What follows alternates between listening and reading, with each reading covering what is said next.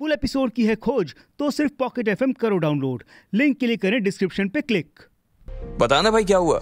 Sports authority ने फिर से तेरे साथ कोई गेम कर दिया क्या? गर्वित ने पूछा और लकी की ओर देखने लगा। अमित कुछ नहीं बोल रहा था।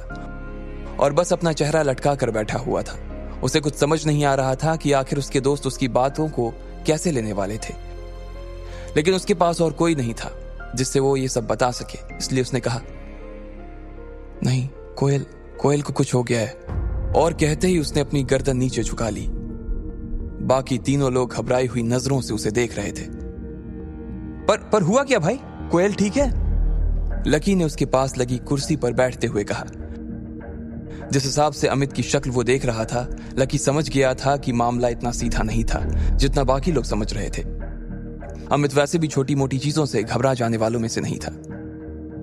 तुम्हें मालूम है, कल जब कोयल बिना लंच किए ही उठकर चली गई थी तो वो उस लड़के से टकरा गई थी, याद है?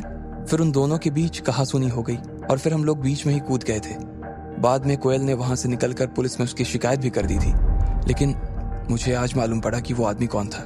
अमित ने घबराते हुए कहा, कौन था? लकी ने पूछा, सब लोग अमित के चेहरे को बिना पल के झपकाए देखे जा रहे थे। वो मोहित राय ज़्यादा था। उसके पिता लायन ग्रुप ऑफ़ कंपनीज़ के मालिक हैं और वो लायन ग्रुप का आने वाला सीईओ है। लायन ग्रुप प्रीतम के मुँह से निकला। उसने अभी जो सुना था उस पर विश्वास ही नहीं कर पा रहा था वो। इसलिए चौंक कर उसने अपनी कानों को दो तीन बार खुजाया।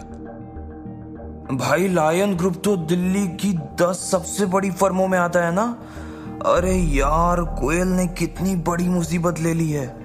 जब लकी ने उसे शांत करवा ही दिया था तो फिर उसे पुलिस स्टेशन जाने की क्या ज़रूरत थी यार? गर्वित ने कहा, अचानक ही कमरे में बैठे सभी लोगों की नींद खुल गई थी और उनके दिमाग की बत्तियाँ जलनी शुरू हो गई।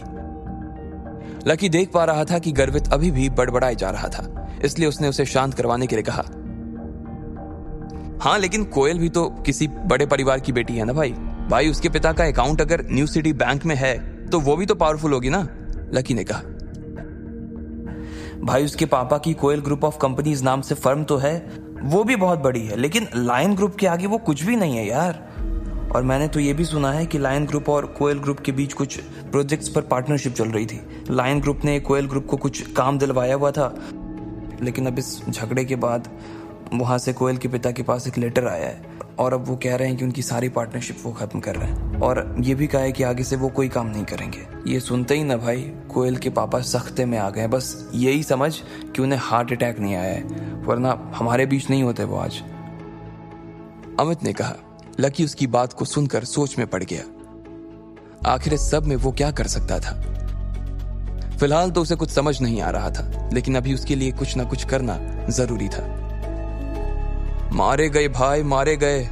गर्वित अभी भी अपने आप बड़बड़ा रहा था। उसके बोलने के बीच ही अमित का फ़ोन बजने लगा। सब लोग उसके फ़ोन की घंटी की आवाज़ सुनते ही शांत हो गए थे। आखिर किसका था वो फ़ोन? कोयल की वजह से इन तीनों के ऊपर क्या संकट आने वाला था? और क्या लकी कोयल और अपने दोस्तों को इस मुसीबत से बाहर निकाल पाएगा? हाय, मैं आपका लकी। तो अब क्या होगा? क्या मेरी किस्मत बदलेगी? या मुझे करना पड़ेगा और कोई सामना? वैसे, इस एपिसोड की शुरुआत में क्या हुआ? और आगे क्या होगा? इसके लिए वीडियो के डिस्क्रिप्शन और पिन कमेंट में दी गई लिंक को क्लिक करें और सुनिए इंस्टा मिलियनर के फुल एपिसोड्स सिर्फ़ पॉकेट एफएम पर।